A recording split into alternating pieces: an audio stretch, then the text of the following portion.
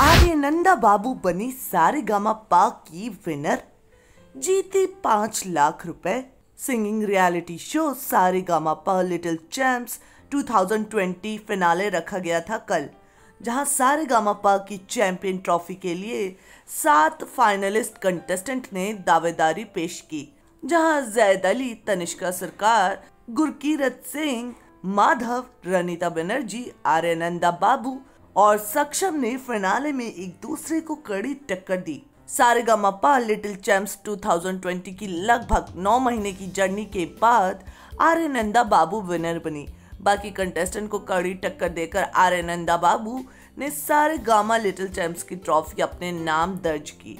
आर्य नंदा बाबू को सारे गमा लिटिल चैम्प्स 2020 की विनर ट्रॉफी और इनाम के रूप में पाँच लाख रुपए का चेक मिला। शो की पहली रनर अप रनीता बनर्जी बनी। रनीता को ट्रॉफी के साथ तीन लाख रुपए का चेक मिला। साथ ही second runner up Gurkirat Singh रहे, जिनको दो लाख रुपए का चेक मिला। इसी के साथ आपको बता दें कि Sa Re Ga Ma little champs 2020 finale के एपिसोड में चीफ गेस्ट के रूप में जैकी श्रॉफ, शक्ति कपूर, गोविंदा, सुनीता आहूजा पहुँची।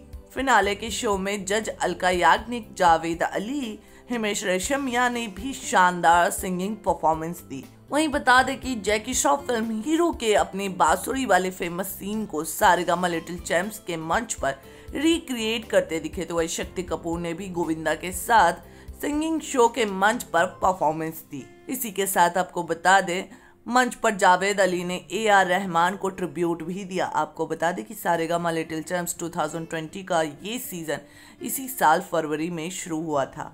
टेलीविज़न के लेटेस्ट अपडेट्स और गॉसिप्स को जानने के लिए हमारे चैनल को सब्सक्राइब करना ना भूलें।